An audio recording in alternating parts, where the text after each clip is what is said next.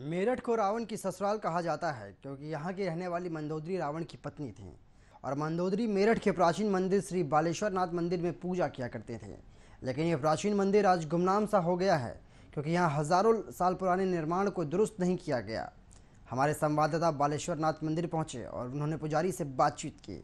सुनिए पुजारी ने सीएम योगी से क्या गुहार लगाई है, हमारी इस खास रिपोर्ट। अयोध्या में भव्य राम मंदिर का निर्माण हो रहा है। और ऐसे में राम मंदिर को लेकर तमाम चर्चाएँ हो रही हैं। लेकिन आज हम राम मंदिर से जोड़ते हुए, पहुँचे हुए हैं मेरठ में और यहाँ दिखाएँगे एक ऐसे मंदिर को जिसका सीधा संबंध रावण से या उसके ससुराल से कह सकते हैं। हालाँकि यहाँ मैं मौजूद हूँ, ये मेरठ का कैंट इलाका है, सदर बाज़ार थाने के ठीक पीछे है। एक बार कैमरा से कहूँगा कि चोर तरफा दिखा दें, हज़ारों साल पुराना ये मंदिर है। और इसकी मान्यताएँ हैं। यहाँ रावण की जो पत्नी हुआ करती थी, वो पूजा के लिए आती थी। हालाँकि क्या इतिहास है, उस पूरे इतिहास पर यहाँ प्रकाश डालने के लिए मेरे साथ यहाँ मौजूद हैं, यहाँ के पुजारी हैं हरिश्चंद जोशी जी। तमाम बातें करेंगे, पूछेंगे इनसे। जोशी जी ये बताइए, राम मंदिर का निर्माण हो रहा है भविष्य रखी गई है, आधारशिला रखी गई है, बड़े खुश हैं लोग।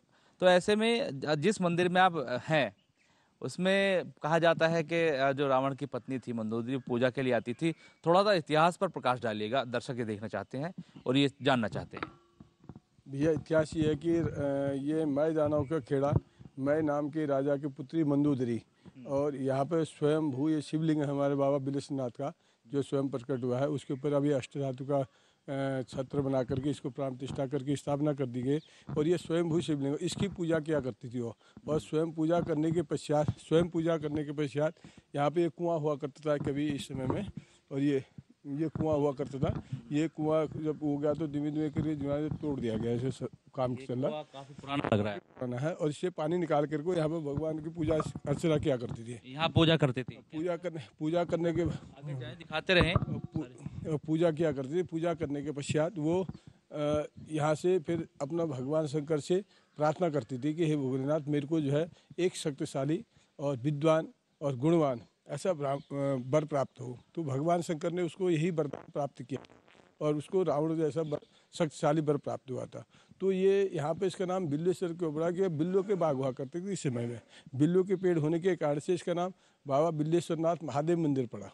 और ये ऐतिहासिक सिद्धिपीठों में से एक सिद्धिपीठ कहलाता है, मेरठ का पहला मंदिर है। और यहाँ भी जैसे पुरातत्व विभाग के अंडर में आता है, संरक्षक में आता है, लेकिन पुरातत्व विभाग का कोई भी कुछ नहीं करता, ठीक है? ना अच्छा मुझे बताइए, आपने कहा कोई कुछ नहीं करता। ये जो आप बातें बता रहे हैं, कहीं लिखी हुई है या कहीं सुनी बातें हैं, क्या इसका इतिहास है? और रावण की शादी मंदोदी से हुई थी, वो कैसे हुई थी, क्या कुछ हुआ था? बताया जाता है कि इनके पिता जो थे नहीं ऐसा है ये कहीं भी बात नहीं, हकीकत है। ये आप अगर स्ट्रक्चर देखोगे मंदिर की, या बनावट देखो, या कुछ भी शैली देख लो, ये ऊपर मंदिर की गुंबद देख लीजिए, हमारी जो मंदिर छत है, ये सब मराठा काल के, प्राचीन काल के स्वयं आप इस गेट से अंदाज़ा लगा ले सकते हैं कि ये प्राचीन मंदिर है या नहीं करके। और ये प्राचीन मंदिर इसलिए क्योंकि जब किसी समय में पहले कहा करते थे, भगवान के दर पर जाना तो सर झुका करके जाना है। तो ये इसलिए दरबार बना कर जो भी व्यक्ति चाहे कितना ही बड़ा शक्तिशाली हो कितना ही बड़ा धनवान क्यों ना हो, वो मेरे दर पर आके सर झुका करके आएगा। तो इसलिए गेट हुआ कर, दरवाजे हुआ करते आज भी अंदर जाके देखोगे तो आप सब छोटी छोटी दीवार हैं और छोटे छोटे रस्ते अंदर। और इसका आप जैसे रावण का मिलन कहते हैं रावण का मिलन यहीं हुआ था, होने के पश्चात ये हस्तिनापुर है, यहाँ की लड़ाई का प्लान हुआ था सारा। तो इस चीज़ के कारण से यहाँ से संपर्क है। अच्छा रावण की जो शादी हुई यहीं की वो थी और उनके पिता का भी इतिहास है जो कोतवाली है वहाँ क्या क्या हुआ करता था उनके पिता का? और बताया जाता है जो भैसाली बस अड्डा जहाँ पर मौजूद है। उसका भैसाली अड्डा नहीं ऐसा है कि ये कोतवाली जो है कोतवाली उस पर हवेली उसका महल हुआ करता था मंदोदरी का। उसका जो मैं नाम के राजा थे ना उनकी पुत्री उनका महल हुआ करता था कोतवाली में।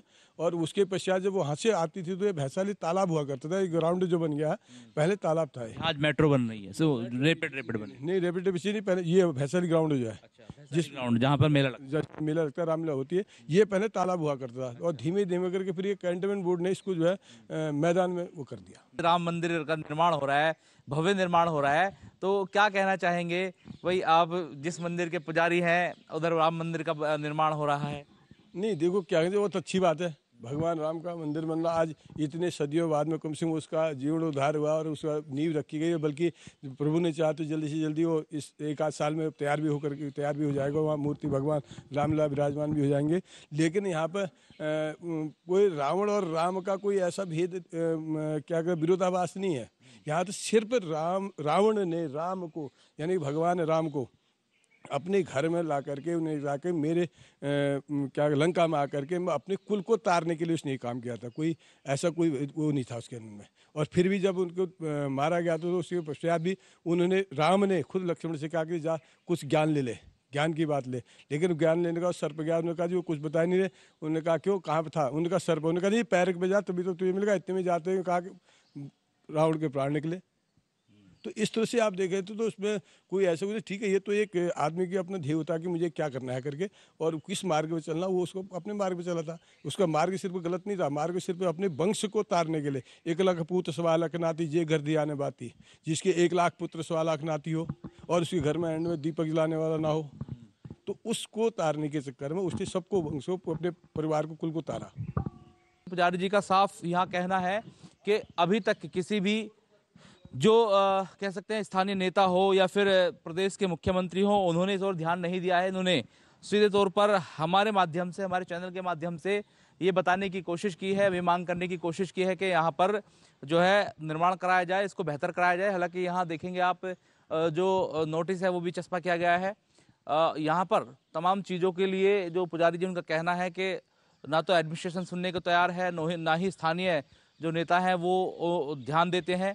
ऐसे में इन्होंने साफ़ साफ़ प्रदेश के मुख्यमंत्री योगी आदित्यनाथ से ये अपील की है कि इस ओर ध्यान दें और जो प्राचीन चीज़ें हैं जो नष्ट हो रही हैं, उनको बेहतर बनाएँ, संवारें, सजाएँ, जिससे कि आने वाली पीढ़ियाँ, नस्लें इस बारे में याद रखें। अपने सहयोगी अनमोल गर्ग के साथ मैं Manowar Chauhan, news watch India, Meerut. I hope